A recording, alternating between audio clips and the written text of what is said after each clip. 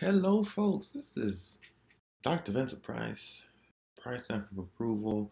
Um, this is yet another video. It's been a while, but I say since I have this time in quarantine with um, the coronavirus going abroad and keeping people inside their homes, I think it's, it's a perfect time for me to actually create another video and just reflect on what I've I've been working on.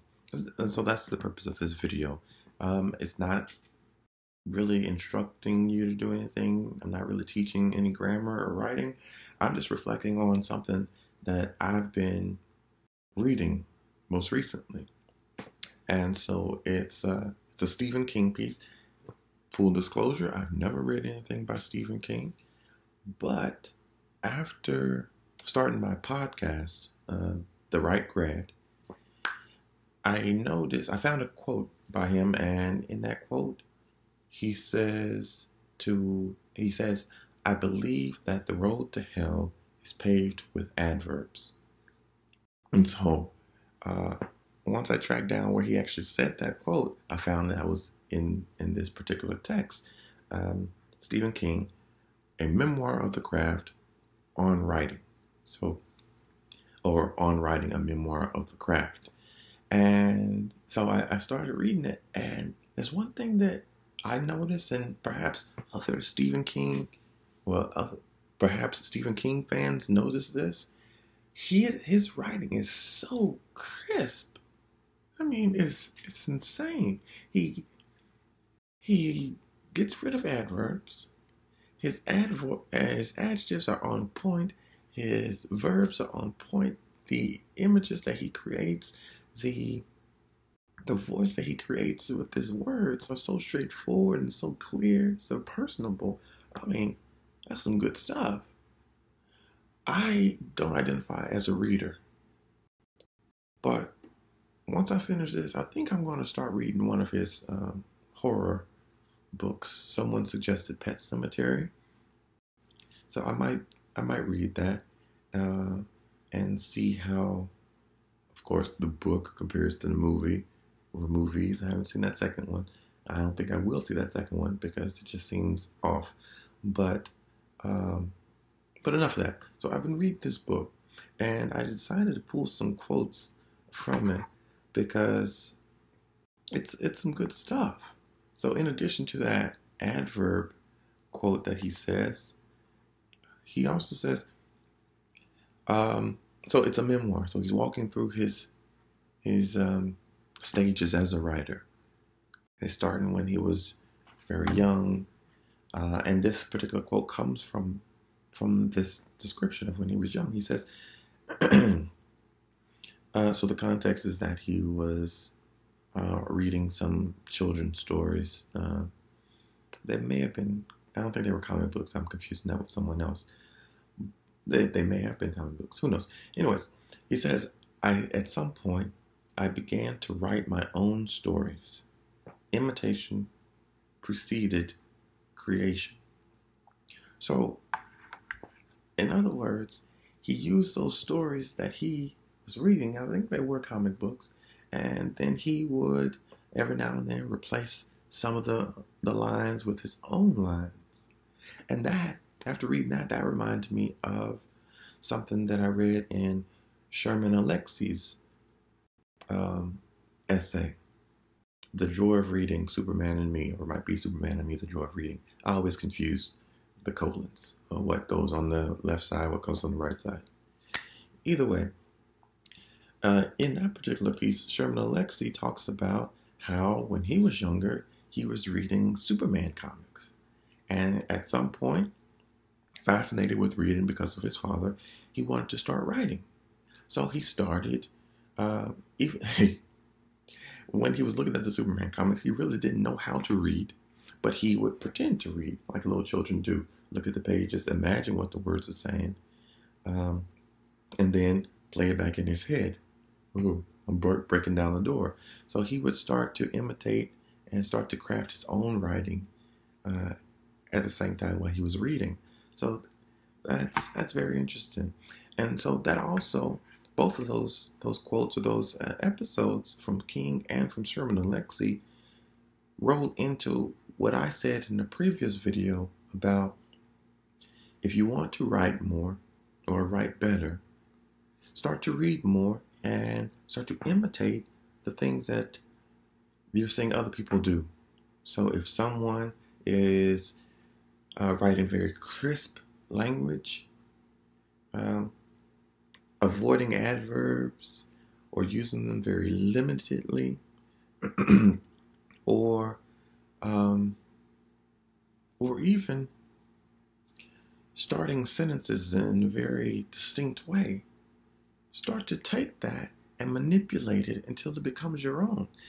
Imitation, as King says, precedes creation. Okay?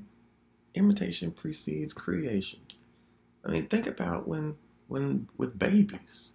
When babies are born, they don't know automatically how to smile. They see other people smiling. And so they imitate that.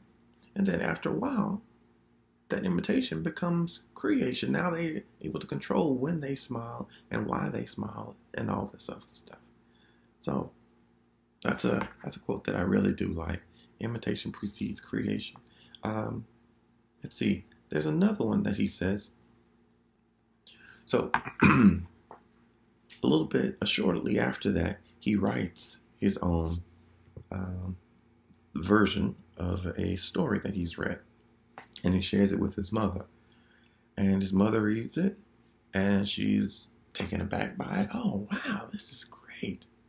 Uh, did you write this on your own? And then he says, No, I basically, you know, copied some from the other text, but a little bit of his mind. And so his mother suggests that he, here's the quote, write one of your own.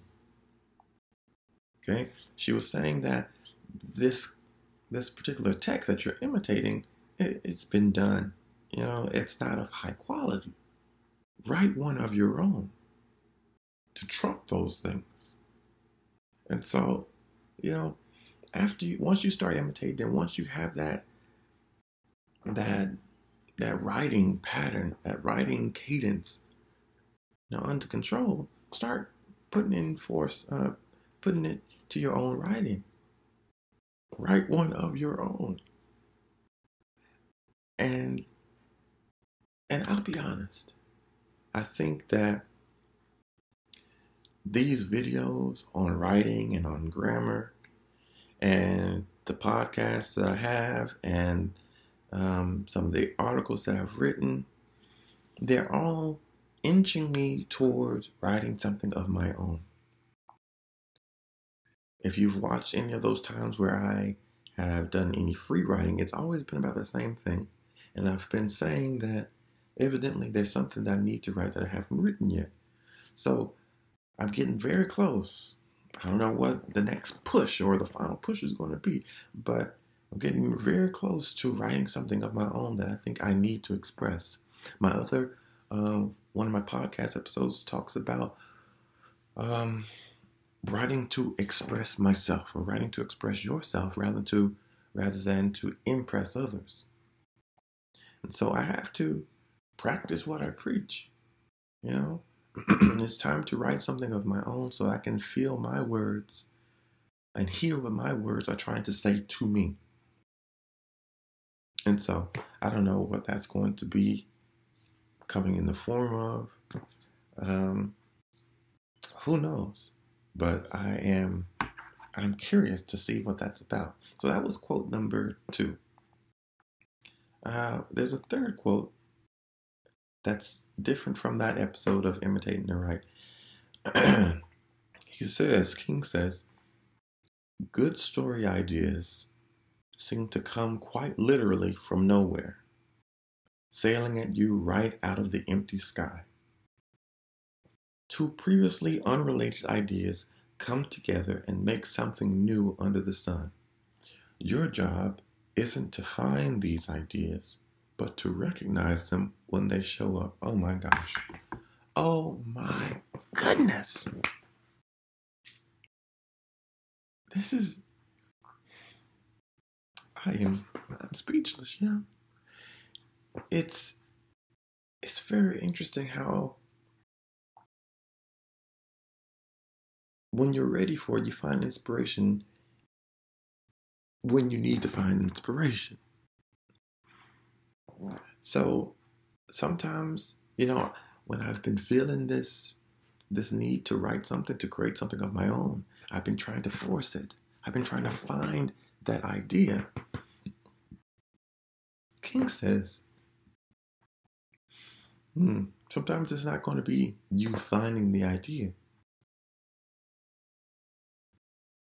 Instead, it's going to be you recognizing that this idea connects with this idea and they make some some nice bond of something quality that can be expanded upon.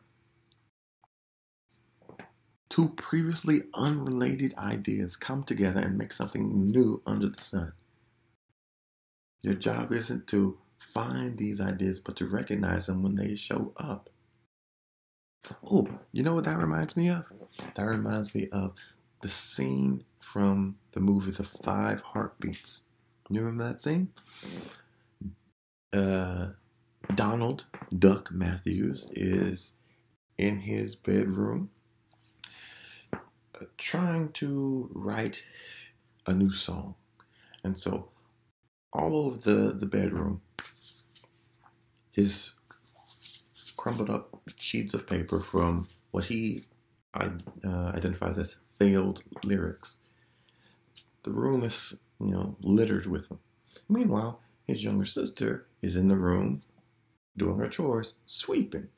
So every time he throws another piece of paper onto the floor, she has to clean that up. Then she gets upset, irritated. She says, What's so hard about it? All you gotta do is take this piece, picks up one of the sheets, uh, crumbled sheets, and looks at the lyrics, and then connects it with this piece, picks up another one, and then from there, movie magic, music magic. She stitches together a song and he writes it all down. So that's that's King's quote in action. Those previously unrelated ideas, those previously failed ideas, failed simply because you didn't have everything that connected to them yet, seems. But then when you look back at those things, then you're able to see where they all fit in this goes here, this goes here, this goes here, and then you have the whole piece. Oh, oh, I'm excited. Okay, so that was quote number three. Okay, um, and then, the last quote is something I had to, you know, read a few times in order to understand it. It says, "Write with the door closed. Rewrite with the door open." So this quote um, is introduced in the text when King has uh, secured a job at a, a newspaper. And he submits uh, a piece, it's a sports piece, and his editor marks it up uh, and, and gives it back to him. And King is astonished by this because I, evidently his English teachers have never written on his papers, marked them up, and told him how to strengthen his writing before. Uh, but it, this quote comes into play. So write with the door closed, rewrite with the door open. So that first part, write with the door closed. So as you're writing that first draft, you're writing to express yourself. You're you are your audience, right? If you're not pleased with what you're writing, there's no need to send it out uh, to anyone else. You first have to make sure that you like how it sounds. Okay? And then, second part, rewrite with the door open. So, if your writing is meant to serve an outside audience, if it's not a journal, you know, a personal journal, dear diary, and all that stuff, then you have to listen to what the outside audience is saying. What kind of feedback are they saying? Uh, what type of feedback are they giving? So if something is unclear, how can you clarify it? So rewrite with the door open. Open up your door, open up your writing uh, so that people can give you some critique, editorial critique. Not necessarily saying that uh, it stinks, but something more, a little bit more constructive. Now, it stinks has its place, you know. Sometimes you just have to be honest. But you can't just stop with it stinks. Why does it stink? So rewrite with the door open. For me, that is the the tough part.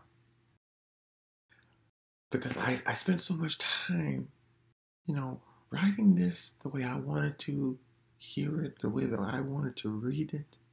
It's a labor of love. It's my baby. And then I give it to someone. Oh, look at this child. Isn't this child the most beautiful thing you've ever seen? And the person says, I see that it's a baby. Um, there are some cute features to this child. Mm, but I would say that the eyebrows are a little bit off and um, the toes are a little bit scrunchy. What's what's that about? Um, the hair could be combed a little bit, and so I take offense. Sometimes I take offense by that.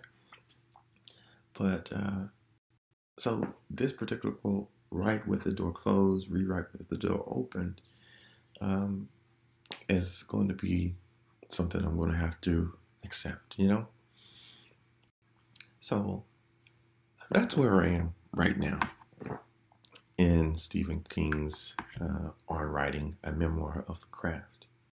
I hope to, I plan on finishing this. Uh, today is Wednesday. It's, it's, I don't think it's a long book, so I hope to finish this by the end of the week. Uh, it's a pretty good read, and more than likely, I'm going to try to get one of Stephen King's uh, horrors uh, and, and see what that's like. By the way, if you're interested, uh, in this time of, of quarantine and you want to read either this book or other texts, I've been taking advantage of the National Emergency Library. On this, this website, National Emergency Library, the, the National Archive, you're able to download what you see here uh, PDF editions of books the first book that I downloaded was Dave Ramsey's The Total Money Makeover. Try to get my money right. Um, and then this is the second, and more than likely, another King text is going to be my third. So, this is all that I have to say for you. I'm just trying to share, just trying to reflect. Um, if you have read this book and you have any quotes, let me know. Leave a comment, leave a message, do whatever you have to do. It's a writing community, it's a reading community. I had fun with this. This is the m- most relaxed I have been. And so it, it's good. Um, so, Vincent Price signing off. Um, keep a lookout for my podcast, The Write Grad. That's W R I T E grad. Available on anchor.fm and Spotify and I do also um, edit. If you're interested in any uh, academic document editing, dissertations, theses, uh, proposals, article manuscripts, book chapters, uh, what have you, let me know. Uh, and I'll more than likely give you a price that other people cannot beat. And so, uh, email me at price stamp of approval at gmail.com. Okay, check this book out. It's a fantastic book. Have a nice day, y'all.